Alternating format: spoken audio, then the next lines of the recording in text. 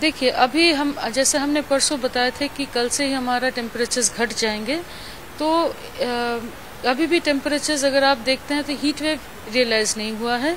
अभी इक्का दुक्का जगह में आपका जैसे, ये जो बेल्ट है ना, इसमें आपका नॉर्थ राजस्थान से लेके आपका ये जो, ये फिगर ऑफ़ सेवन के तरह, ये इलाके में थोड़ा बहुत अभी भी एक दो जगह में 42 से लेके 43 डिग्रीज का टेम्परेचर चल रहा है। एक दो जगह में शायद 44 भी पहुँचा है, पर हीट वेव कहीं पर भी नहीं पहुँचा है।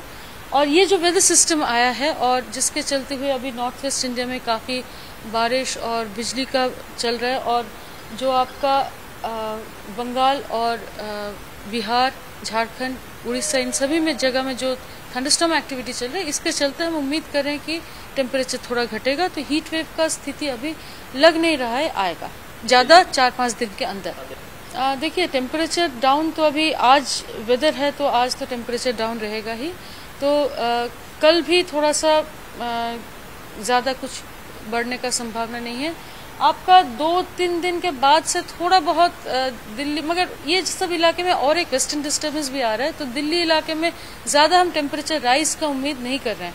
अभी आप, थोड़ा तो बढ़ेगा, क्योंकि नॉर्मल से काफ़ी नीचे चला गया है तो अभी बढ़ के अपना नॉर्मल स्थिति में आ जाएगा अगले तीन चार दिन में, मगर हीट वेव जैसे स्थिति हम उम्मीद नहीं कर रहे हैं अभी। प्रोडिक्शन आपको तो मिल गया है कि हमारा ऑनसेट का डेट है फ़र्स्ट जून हमने दिया है थोड़ा डिलेड आएगा और उसका फोर्थ जून दिया है, जिसका प्लस माइनस फोर डेज़ का होगा तो वो हम अभी भी उस पर स्टिक हैं।